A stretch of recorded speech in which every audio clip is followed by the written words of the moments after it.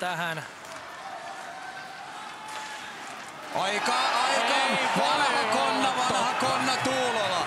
Vanha konna Tuulola. Toiseen peräkkäiseen peliin he. Kyllä. Huh, huh. 2.46 jäljellä.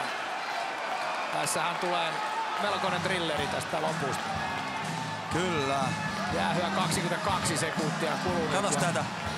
Kyllä teki niin vanhanaikaisen jutun ja vielä leftin puolen pelaaja tolta puolelta, niin kyllä, kyllä menee Ulberin piikkiin. Tämä ei ole muuten ensimmäinen kerta, kun Tuulolla tekee tämä. Ei oo, ei oo. Muistaakseni, oliko Atte Egrenille teki jossain vaiheessa sama.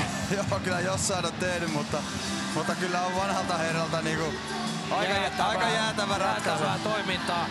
57, 14. Mitä sä sanoit noin minuutti sitten, että HPK tarvitsee kokeneen Tuulolan taitoja vai miten se meni?